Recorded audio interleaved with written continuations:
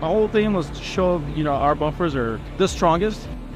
And I had this idea about a year ago that uh, just wanted to try it. And here we are, you know, I mean, definitely our bumpers are true and, and solid. And as you witnessed, they can hang.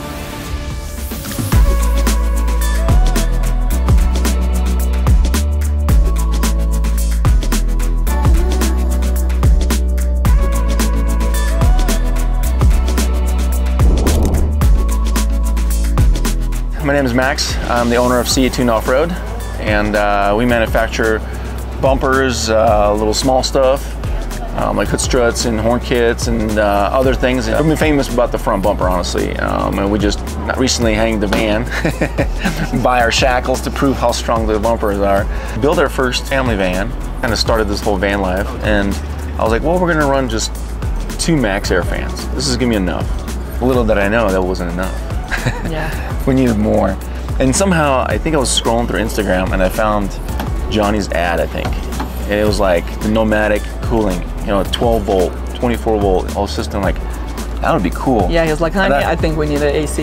Yeah, and I was like, I think I messaged him through, you know, DM, and we kind of bonded a little bit, and then he actually drove out He did. from Arizona to Sacramento to install one of the first AC units. Yep. And it's funny, like as soon as we installed it, we actually had a photo shoot with uh, Toyo Tires. Went we went down to like uh, Alabama Hills, and then there's a desert down there, Oh, it was so hot. It was And- hot. It was like 100, what, 110? 100? over 100. Yeah. yeah, over 100. And uh, I'm glad we had that AC unit. What a lifesaver. A really good relationship with Nomadic, and not only that, I think their units are more compact. I mean, when you look on top, like any other manufacturer AC units, they're just ginormous. They're It looks really nice. It was really nice and slim, and Slim. really like it. Yeah. You could get all the space on top of your roof.